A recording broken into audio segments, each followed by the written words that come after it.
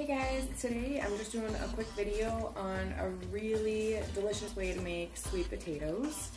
Uh, I already peeled everything and then I remembered, hey, I should uh, do a quick video on this because it's awesome.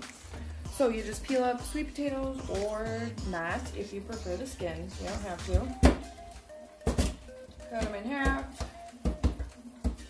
And then I just kind of I don't cut all the way through just the top layer, it just kind of helps them cook a little faster.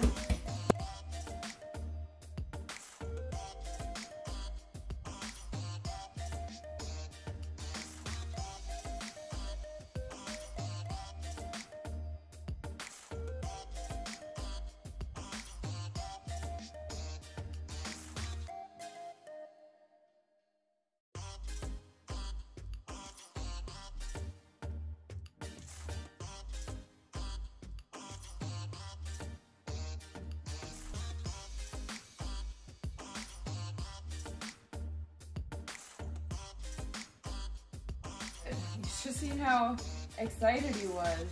Maple bacon cupcakes. like, do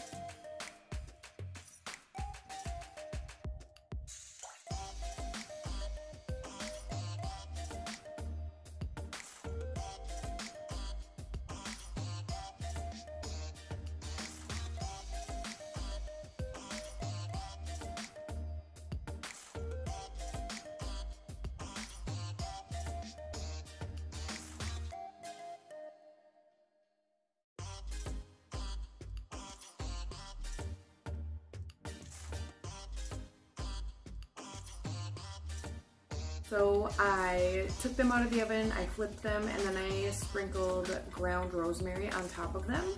And then I put them back in the oven and I turned the oven off. And I left them in there for like 10-15 minutes and I just pulled them out. You can see they're nice and caramelized. I am so excited to eat some of these. They are delicious. That is our favorite way to eat sweet potatoes. We love sweet potatoes cooked anyway, but this way is so good. A little bit of salt, a little bit of pepper and rosemary. Amazing. So let me know if you try it. Thanks for watching.